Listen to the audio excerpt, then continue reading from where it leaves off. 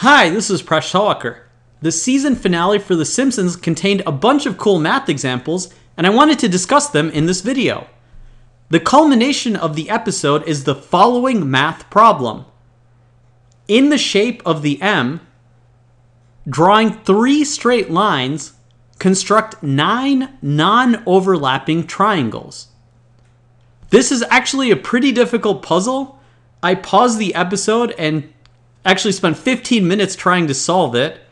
I was able to get up to three, four, five, six pretty easily, but then I got to seven and eight and I couldn't figure out how to get nine non overlapping triangles. So I suggest you try this puzzle, and if you solve it, congratulations. You can pause the video or you can just keep watching. I'm going to go through the rest of the math examples in the episode. The episode starts off with a very mathematical joke. The Springfield math team has t shirts that say pi is not equal to a over b, which of course refers to the fact that pi is irrational. There's also a corny math joke here. When you solve the expression and read it out loud, you get a very corny joke. The math competition features a bunch of different questions. This question tests whether you know the order of operations. The correct answer of negative 27 is shown in the episode.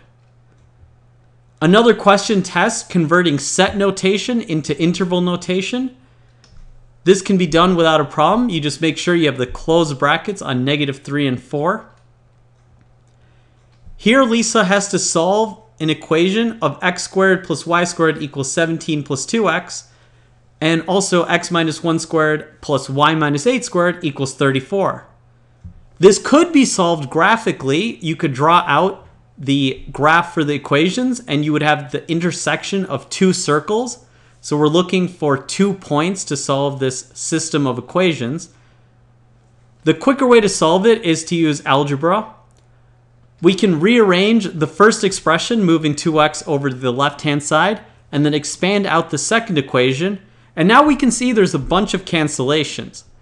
If we subtract the first equation from the second equation, we'll have x squared minus 2x and y squared all cancel out.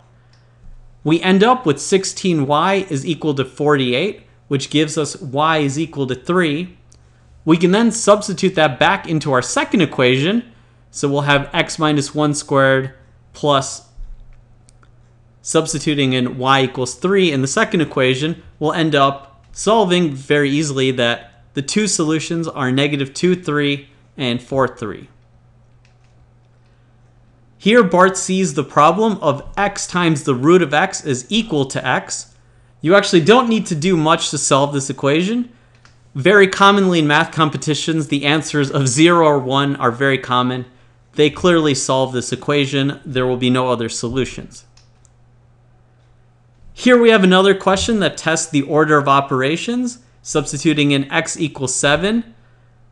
We first evaluate the bracket of 3 plus 52.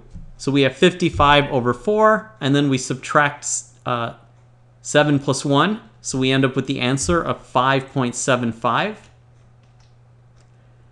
Here we have another system of equations which looks difficult to solve. We have a plus b squared equals 25 and a minus b squared equals 45. So what's the value of a squared plus b squared? You might try and solve for a and b and then you need to square a and square b. But in math competitions there's always a trick. If you expand out the two equations, we see the only difference is one has a positive factor of 2ab and the second equation has a negative factor of 2ab. So if we add the two equations together, we end up with 2a squared plus 2b squared equals 70. Now we can solve for a squared plus b squared by dividing the equation in half. So we get the answer of 35. Here we have another system of equations which looks like you'll have to solve for x, solve for y, and then evaluate 3x plus 5y. Once again, there's a trick. If you add up the two equations, you'll get 6x plus 10y equals 12. Then divide this in half, and you get 3x plus 5y equals 6. All right, now we will return to the puzzle. We need to find to get nine non-overlapping triangles drawing only three straight lines. So let's draw this figure M out so we have more space to work with. The first line we want to draw will be skewed coming from the bottom left, and we want to intersect all the other lines. We'll draw another line exactly symmetrical starting from the bottom right. Now we have one final line to draw, and we'll draw it horizontally. And now we've created nine non-overlapping triangles. One, two, three, four, five, six, seven, 8, and 9. So it's a pretty cool construction. I hope you figured it out. Congratulations if you figured it out. I did not come up with this answer. In the episode, Bart magically comes up with the answer because he looks at Homer's head. Of course, his hair is in the shape of the M, and he imagines the solution by constructing it looking at his at Homer's head. So it's a very cool episode. I hope you like this video. Please subscribe to my channel. I make videos on math and game theory. You can catch me on my blog, Mind Your Decisions, which you can also follow on Facebook, Google, and Patreon. You can also catch me at Presh Talwalkar on a bunch of social media sites. You can also check out my books on math and game theory. There's a link in the video description.